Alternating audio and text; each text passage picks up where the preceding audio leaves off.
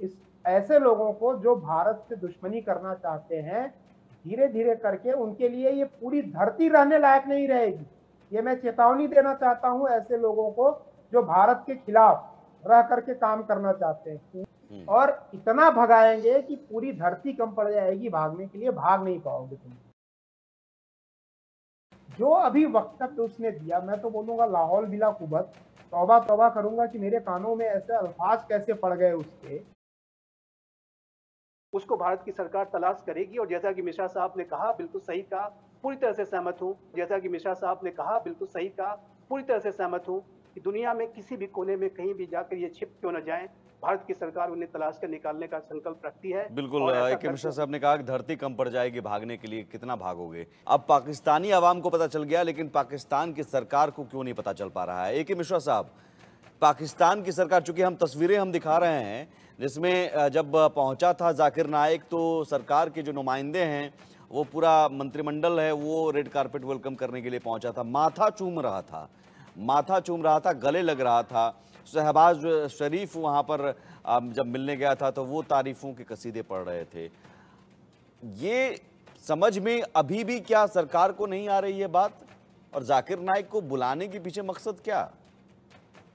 देखिए, मैं आपको बताता हूँ पाकिस्तान की ये दुर्दशा रही है। यानी जब पाकिस्तान बना था, उसकी आइडियोलॉजी बनी थी, तब से लेके अब तक की ये दुर्दशा रही है स्टेट स्टेट मतलब सरकार और अवाम अवाम मतलब वहाँ की पब्लिक या जनता। इनके बीच में कभी सामंजस्य नहीं रहा स्पेशली आइडियोलॉजिकल छत्तीस का आंकड़ा रहा है। और जिस देश में ये सामंजस्य नहीं होता, दोनों एक ही एक्सिस पे नहीं चलते हैं वो देश पाकिस्तान वाली ही हालत में रहता है कि हमेशा लड़ाई, मारपीट, दो तो मतलब हमेशा प्रॉब्लम में फंसा रहता है। जहाँ आवाम पब्लिक और सरकार के बीच में कोई सामंजस्य एक रूपता नहीं होती है, यही हाल वहाँ पे है। अब देखिए, पाकिस्तान हर उस तरीके के काम को करता है जो कि कई बार उसकी जनता नहीं चाहती है। अब उसके पीछे कारण है। पाकिस्तान की सरकार के लक्ष्य हमेशा दूसरे रहे हैं और अवाम के लक्ष्य कभी कभी भिन्न भी रहते हैं, दूसरे रहते हैं।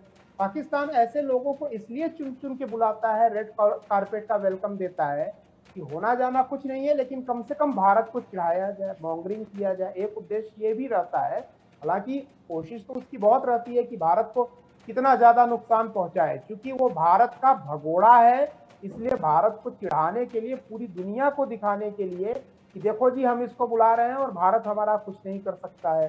लेकिन अब वो दिन चले गए हैं, यहाँ पे सरकार भी बदल गई है।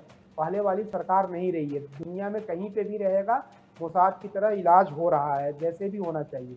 तो पाकिस्तान रेड कारपेट वेलकम इसीलिए दे रही है कि दूसरा एक स्ट्रेटेजिक रीजन ये हो सकता है, कुवैत वगैरह में जहाँ पे जाकिर नायक वगैरह की ज़्यादा चलती है, टर्की हो गया, मलेशिया, ये भागते गया था तो मलेशिया भी था, वहाँ से कुछ डॉलर वगैरह मिल जाए, कुछ फंडिंग मिल जाए, माली हालत ख़राब है, क्योंकि तनख्वाह देने के लिए भी पैसे नहीं है और हो सकता है कि मिलिट्री का प्रेशर हो कि भाई इनको बुलाओ ताकि हमें कुछ मदद मिले कहीं ना कहीं से। एटलीस्ट मुस्लिम कंट्रीज़ में ही जो है अपनी एक सॉफ्ट इमेज बने। भाई देखिए हम जो है धर्म का काम करते हैं ऐसे लोगों का रिस्पेक्ट करते हैं। ये दो ही रीजन है पाकिस्तान को। अच्छा अवाम क्या है? अब जब खाने के लाले पड़ने पड़ने लगे हैं तो सत्तर साल के बाद अवाम की अकल ठिकाने आ गई है। उनको ये लग रहा है कि ये आदमी हमारे घरों को तोड़ देगा। जो अभी वक्तव्य उसने दिया मैं तो बोलूँगा लाहौल बिला कुबत तौबा तौबा करूँगा कि मेरे कानों में ऐसे अल्फाज कैसे पड़ गए उसके। हर एक आदमी, वो कहीं का भी हो, अगर गैरतमंद परिवार का आदमी है तो उसको लगेगा कि ये व्यक्तिगत टिप्पणी है, उसके या उसके परिवार के किसी सदस्य के ऊपर। और इस तरह की टिप्पणियाँ किसी भी रिलीजन में अलाउड नहीं है। ऐसे बहुत सारे रीजन होते हैं, कुछ लोग शादी करते हैं, मैरिज करते हैं, नहीं करते हैं, मैरिज करना, नहीं करना भी आदमी का एक व्यक्तिगत चॉइस हो सकती है और सारे रिलीजन में है। सब जगह ऐसे लोग हैं जिन्होंने मैरिज नहीं की और पूरा लाइफ लॉन्ग जो है उन्होंने अपना जीवन किसी और की सेवा में लगाया। तो ये बड़ी चुभने वाली जो है प्रवृत्ति है। इसने वहाँ हीरो बनने के लिए किया था। वो कोशिश ये की थी कि हम वहाँ पे हिट हो जाएँगे लेकिन आवाम को अब वहाँ पे समझ में आने लगा है आटे दाल का भाव क्या होता है उनको पता चल गया है कि गीता का कर्म का सिद्धांत पहले अप्लाई करो और, हम्म। और बाकी चीज़ें दीन और धर्म की बातें बाद में करना।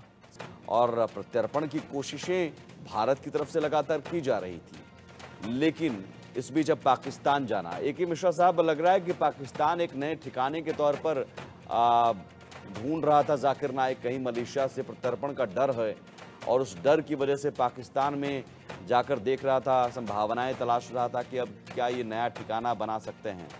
तो वो ठिकाना बन पाएगा?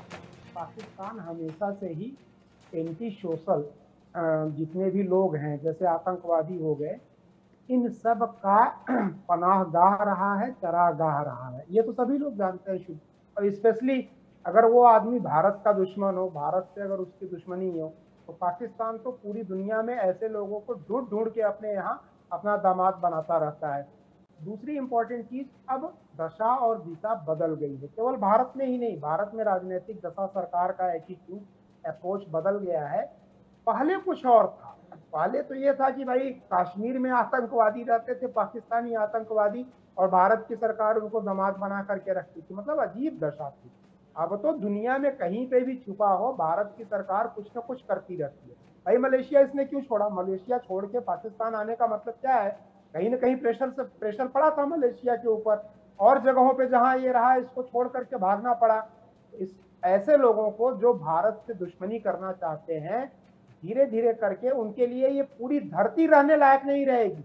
ये मैं चेतावनी देना चाहता हूँ ऐसे लोगों को जो भारत के खिलाफ रह करके काम करना चाहते हैं। इस ऐसे लोगों को जो भारत से दुश्मनी करना चाहते हैं धीरे धीरे करके उनके लिए ये पूरी धरती रहने लायक नहीं रहेगी। ये मैं चेतावनी देना चाहता हूँ ऐसे लोगों को जो भारत के खिलाफ रह करके काम करना चाहते हैं। पूरी धरती, पूरी पृथ्वी उनके रहने लायक कहीं पे और तो और छोड़िए। आप मंगल पे जाओगे तो वहाँ पे भी हम पहुँचे हैं। सुषमा स्वराज ने मैम ने तो यही बोला था ना कि भाई अगर आप मंगल पे हो तो हम्म। हम वहाँ पे भी आपकी हेल्प करेंगे। तो केवल हेल्प ही नहीं करेंगे हम आपको ढूंढ के आपका काम भी तमाम करेंगे। तो ये चेतावनी भारत की तरफ़ से मैं देना चाहूँगा कि या फिर वो करने की ज़रूरत ही नहीं पड़ेगी वो अपने आप भस्मासुर खुद ही भस्म हो जाएगा। नहीं नहीं सरकार का अप्रोच अब थोड़ा सा कम हुआ। हम नियति के ऊपर नहीं छोड़ेंगे कि जब होगा तब होगा। हम फैसले अपने कर्तव्य का पालन भारत सरकार करती है भारत के वीर सपूत करते हैं। तभी तो हम क्रॉस बॉर्डर जा करके हमने ऑपरेशन किया था ना। मोदी जी ने जो करवाया था पाकिस्तान में बॉर्डर क्रॉस करके जा करके वहाँ आतंकवादी सर्जिकल स्ट्राइक जो हुई थी हाँ। तो अब हम जो है नियति के ऊपर या दूसरों के भरोसे नहीं छोड़ेंगे न्याय भी हम ही करेंगे। हम्म। और इतना भगाएँगे कि पूरी धरती कम पड़ जाएगी भागने के लिए भाग नहीं पाओगे तुम। और इतना भगाएँगे कि पूरी धरती कम पड़ जाएगी भागने के लिए भाग नहीं पाओगे तुम। देखिए भारत में ये वांटेड है और भारत इसको वापस लाने के लिए पूरा प्रयास कर रहा है।